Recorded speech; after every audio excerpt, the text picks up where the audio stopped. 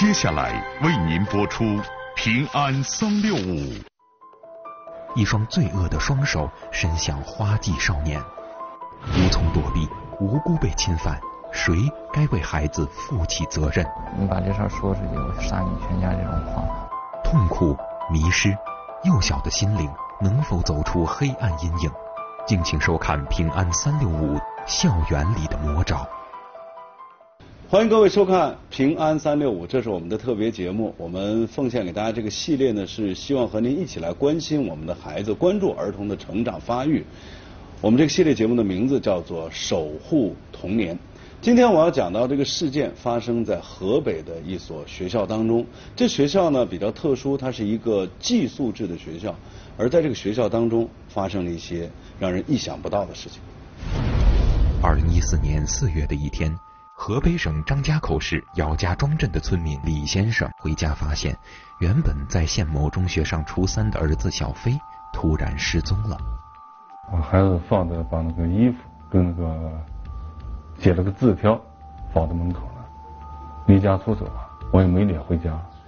早前李先生就发现儿子的情绪有些变化，每次从学校回到家，总是一个人躲到屋里，不爱说话。有时目光呆滞。李先生家境一般，和妻子在村里开了一个小馒头店，平时起早贪黑，无暇顾及儿子。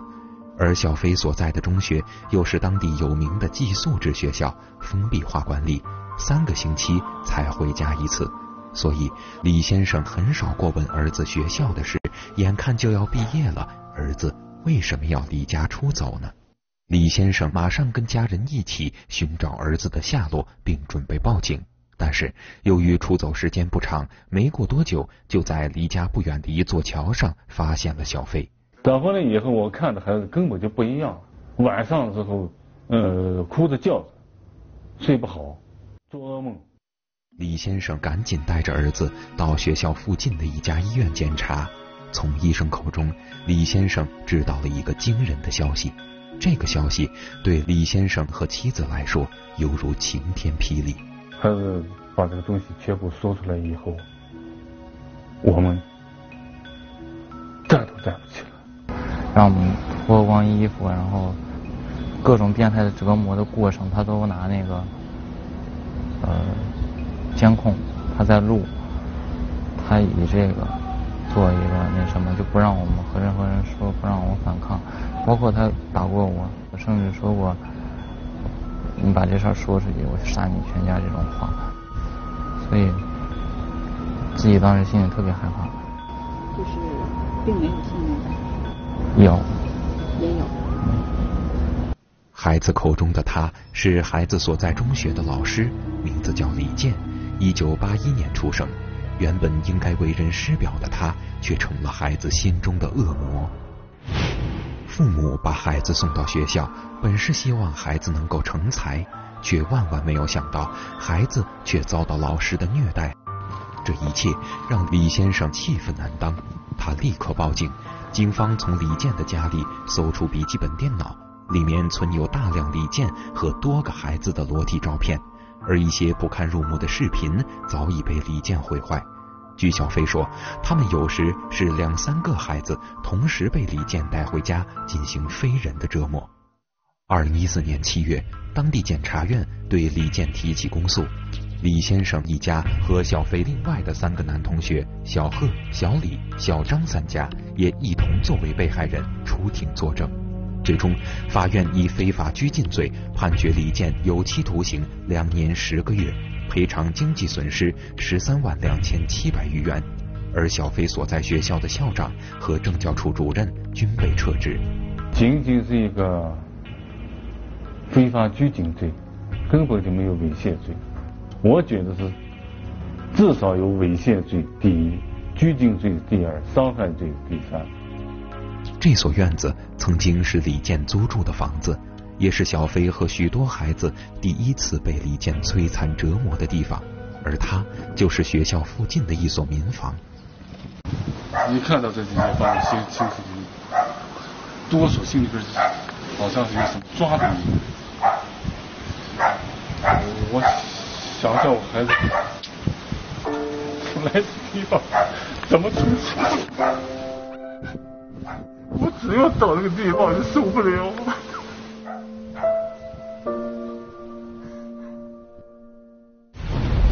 事件本身确实让人觉得非常的震惊，而且呢，这个事件呢，在整个法律介入之后，也是引起了很多人的争论。那今天我们在演播室请到了两位，也是大家非常熟悉的朋友。首先为您介绍的是评论员春卫，你好。大家好。另外为大家介绍的是佟丽华律师，你好，佟律师。首先的第一个问题就是大家争论的焦点，就是这样的一个事件，很多人都认为说他起诉的这个罪名啊，可能和很多人天然的想象当中不一样。那么您的理解是什么？我是根据这个，就是小朴介绍这些背景材料，显然猥亵儿童的问题应该受到关注。嗯。司法机关。嗯，开始的时候明显看出只是从非法拘禁的角度，嗯，来这个办理这个案件，嗯，呃，非法拘禁的刑期也比较短，嗯，三年以下，一般的猥亵儿童是五年以下有期徒刑，嗯，但如果聚众的话，可能到五年，就是会到五年以上有期徒刑，嗯，所以说这个案件一方面没有追究猥亵儿童，如果像从小票介绍情况，我认为这个是没有给这个孩子公道，嗯。没有使罪犯得到应受的打击，这个是要受到关注。我首先讲，这个孩子本身和他父亲都非常了不起，非常勇敢，他们能够站起来，让这个犯罪嫌疑人、犯罪分子绳之以法，受到法律的制裁。但与此同时，我们也在关心，为什么没有一个途径，没有老师发现吗？没有人去关心这些孩子的这种心理的成长过程当中的变化吗？因为性在中国是一个敏感的话题，对。而在学校教育当中，在家庭教育当中，同样是属于一个非常敏感的话题。人们往往是在一个孩子大婚的时候，才会去给他敞开了谈这样的一个人之大义。人们会觉得这些事儿不适合过早的让他们知道，也许正是这种不适合。最后，我们看到一个孩子，在他的青春期当中，他遭受了他人生最黑暗的一千多天。你又会觉得教育为什么选择在这个地方拐弯？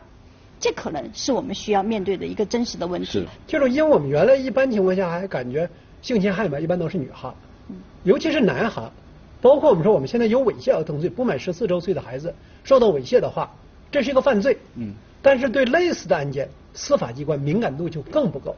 这样的话导致什么呀？这一类的案件在办理的过程当中，从受害人的保护力度不够，对罪犯的打击往往也不够。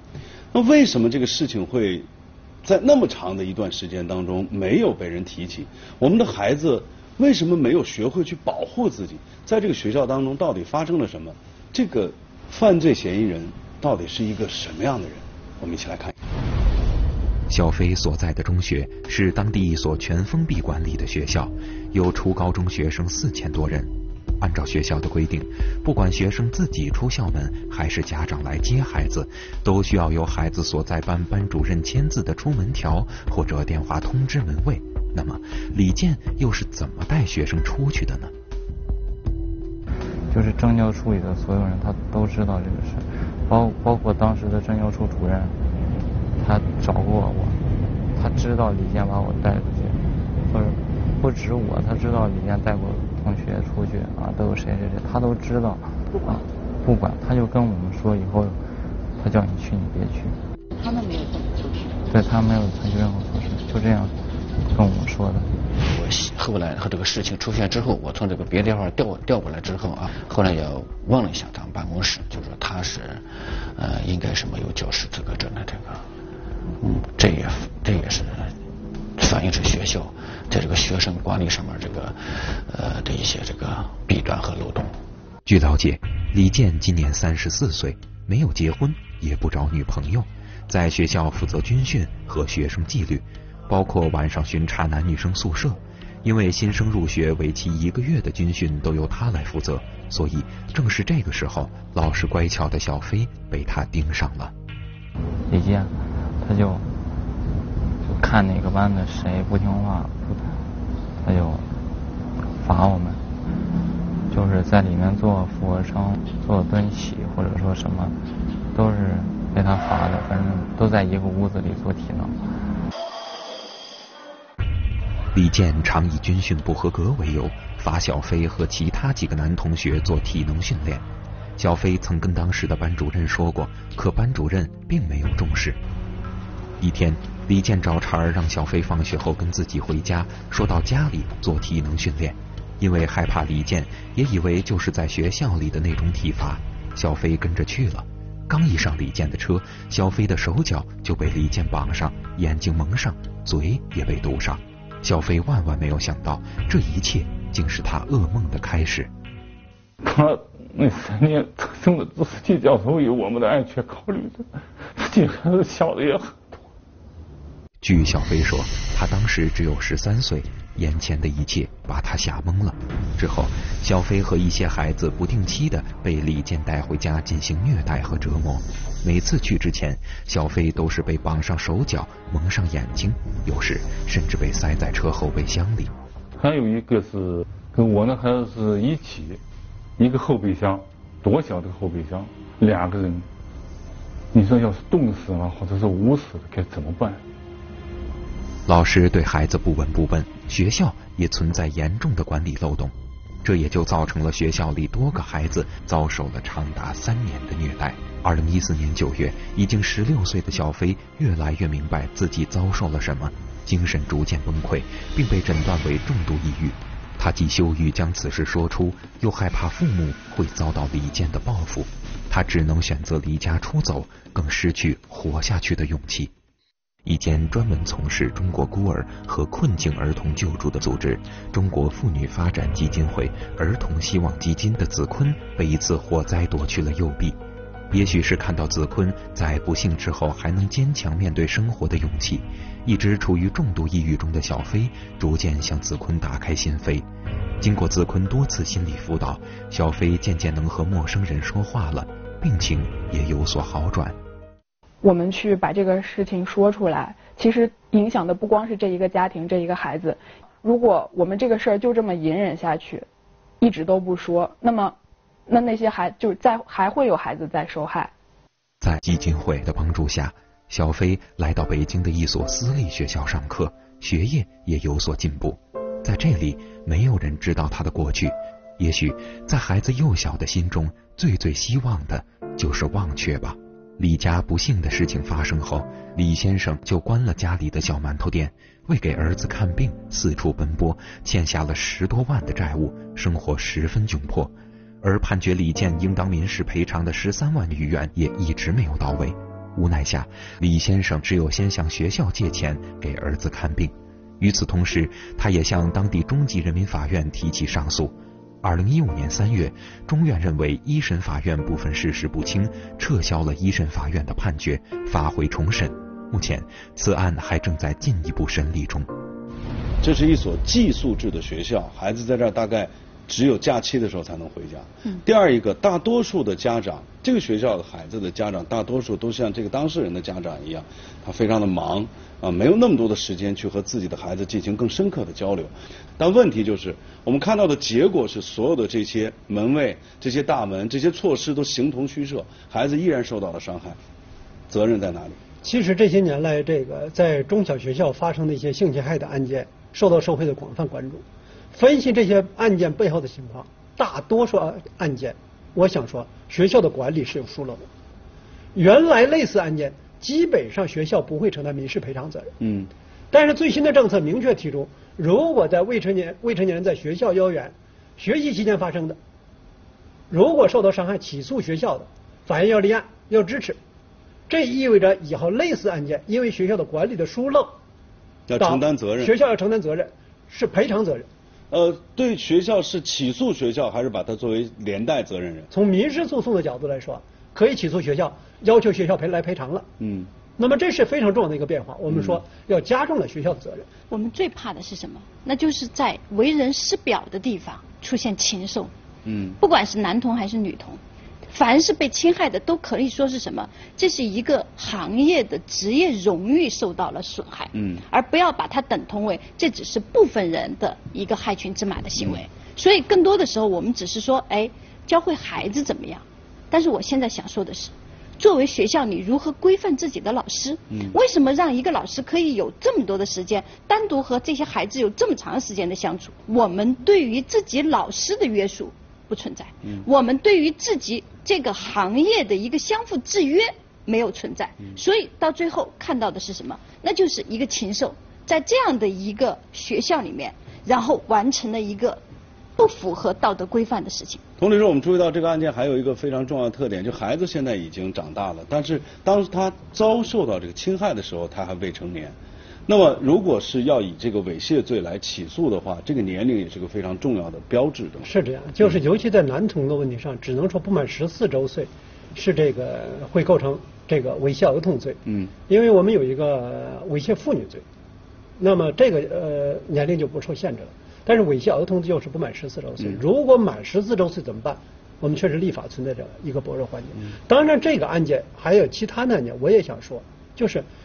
对未成年受到性侵害的案件，一方面我们说要保护他的隐私，但是另外一方呃，我们也还是说这不是他的过错，他的人生依然可以活得非常精彩。嗯，案件当中的当事人正在慢慢的长大，可是呢，这件事情在他的内心到底留下了什么？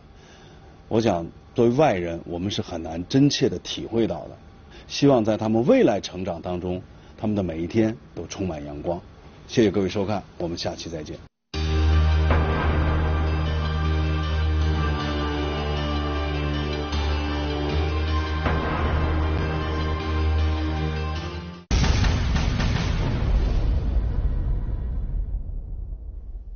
二零一五年八月二十八日中午，湖北省随州市消防支队广水中队接到报警称，一名工人在四十米高的信号塔上检修时，不小心撞到塔上的马蜂窝，导致马蜂倾巢而出。工人被蛰伤后出现全身麻木症状，无法自行下塔就医。消防队员立即展开救援。清楚了吗？拽住了，拽住了，拽住了，爸，呀。啊，就这个节奏，就这个节奏往下放。十几分钟后，工人被顺利救下，随即送往医院治疗。在此，平安三六五提醒广大工人，在高空作业时需留意观察周边环境，发现马蜂窝时切勿盲目触碰，如不慎被马蜂蛰伤，一定要尽快就医。